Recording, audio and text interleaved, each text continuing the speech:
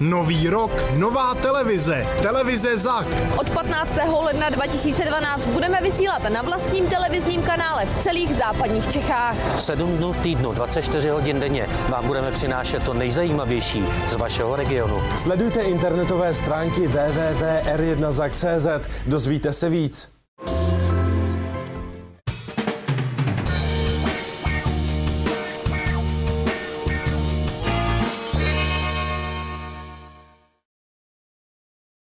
Vítejte u vysílání televize ZAK. Konečně jsme zase s vámi. Od této chvíle můžete na tomto programu sledovat každý den a nepřetržitě naše vysílání. Připravujeme pro vás a s vámi reportáže a pořady ze západních Čech. Tím první bude v následujících minutách Studio Z, které jsme tentokrát věnovali spuštění této stanice. V diskuzním pořadu se představí ředitel naší televize Jindřich Marek.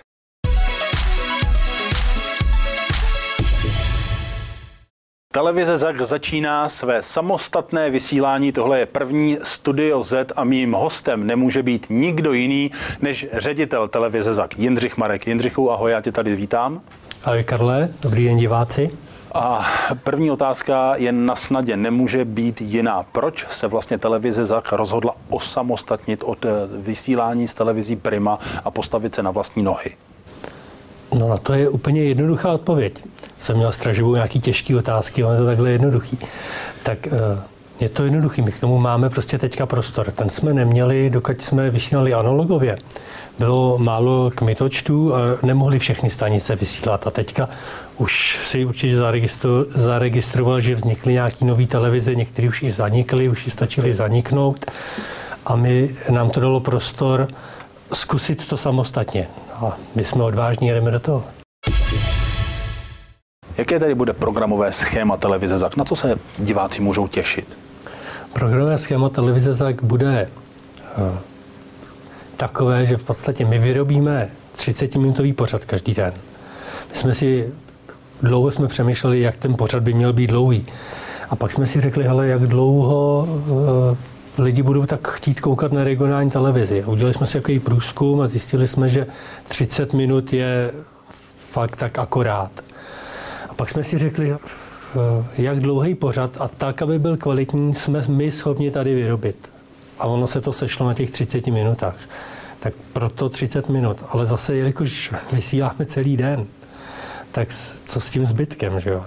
Takže my jsme to udělali tak, že tu třicítku, ten náš 30-minutový magazín vlastně neustále opakujeme, opakujeme, opakujeme, opakujeme. Aby to nebylo zavádějící, ono to totiž vypadá v tuhle chvíli, jako že ten 30-minutový pořad bude Studio Z. Ne, ne, ne, ten pořad je vlastně eh, řeknu, regionální zpravodajství, hmm. který je opravdu s důrazem na region. Eh, nebudu se tam objevovat žádné jiné zprávy, než zprávy tady od nás, od nás ze západu Čech.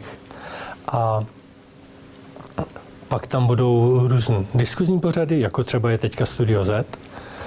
A budou tam pořady, které budeme točit na ulicích eh, s lidmi, protože jsme se rozhodli, že prostě musíme jít lidem blíž, protože eh, my potřebujeme diváky a doufám, že diváci budou chtít nás kde všude budou moct lidé ZAK naladit, kde všude budou moct lidé ZAK chytit. Bude to Plzeň a blízké okolí, nebo kam až daleko vlastně ZAK dosáhne? Náš signál šíří český radiokomunikace, a to znamená český radiokomunikace, to je takový ten Rolls Royce v tom šíření signálu. A v podstatě náš signál bude celým plzeňským kraji, v Karlovarském kraji hmm. a ještě zmírnění přisahy. My máme, my si to můžu říct, ale my máme ve smlouvě milion 100 tisíc 872 diváků, že pokrajeme signálem. To je hodně, protože pokud mě paměť neklame, tak jenom Plzeňský kraj má asi nějakých mezi 600 a 700 tisíci poslů, jako obyvatel. Mm, mm, mm. Obyvatel. No, ano, ano. Tak, je hodně. Jo, je to hodně. Je to, to opravdu hodně. velká zodpovědnost na nás leží teďka hmm. a my do toho jdeme tak, aby jsme ty očekávání naplnili. No pojďme si povídat chviličku o penězích. ZAK stojí na vlastních nohou, ale bude to stát hodně peněz. kde, kde je ZAK bude brát a v těch samotných počátcích to bude brát a stát hodně peněz. A těch peněz, které budou přicházet, eh, bude, myslím si, míň. Jo, v podstatě to tak je. Eh, My máme osvíceného majitele, který, který prostě si řekl, ale umíme to dělat, děláme to dobře, děláme to tady 13 let, prostě pojďme to zkusit. A já do toho ty peníze dám. Ze začátku. A, a ze začátku, protože ono to bude chvíli trvat, než se to rozjede. Hmm. A až se to rozjede, tak Ty peníze Tak se mi to vrátí. vrátí. Nehrozí třeba, že by v budoucnu byl za nějakým způsobem zahlcen reklamou na úkor toho programu, stejně jako je tomu na velkých televizích, kdy se diváci tam dívají na nějaký program a najednou jim tam skočí nějaký prostě osmiminutový blok, který je téměř k nepřežití a k nesnesení, eh, aby se nestalo právě, že, že prostě diváci televize ZAK, protože tam budou mít z 30 minut prostě pětiminutovou reklamu, tak je to prostě odvede od toho, od, toho, od nás. Jasně. Eh, Já si troufnu říct, že tohle se u nás nestane. My jsme dlouho taky přemýšleli, eh, vlastně tím jsme začínali to schéma dávat dohromady eh, reklamu. Co vlastně s tím, co, že to je vlastně to, co nás živí.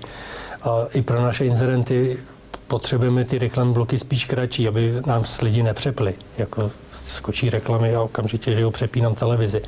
Takže eh, náš nejdelší reklamní blok bude trvat dvě minuty, což na těch velkých televizích standardní reklamní blok trvá 6 minut. Když se k tomu připočtou ještě různé ty Upoutávky. upoutávky na pořady, tak je to 9 minut. Hmm. Za 9 minut my odehrajeme tři pořady taky. To je pravda. Ty naše pořady jsou krátký, svížný. Je, je to udělané tak, aby když jsou někde reklamy, někdo si k nám přepne, aby se poměrně velmi rychle zorientoval a mohl se na nás dívat. Studio Z se chýlí ke svému závěru. První studio, historicky první studio Z v dějinách samostatné televize ZAK. Tak eh, co by si popřál ty divákům televize ZAK? Můžu do kamery? Určitě. Tak já bych popřál divákům spoustu zajímavých reportáží a pořadů, které budeme pro vás připravovat a budeme doufat, že se vám to bude líbit. Jindřichu, já moc děkuji za to, že jsi přišel do prvního studia Z a děkuji i vám, že jste se dívali a budu se těšit u dalších a dalších a dalších studií Z na televizi ZAK.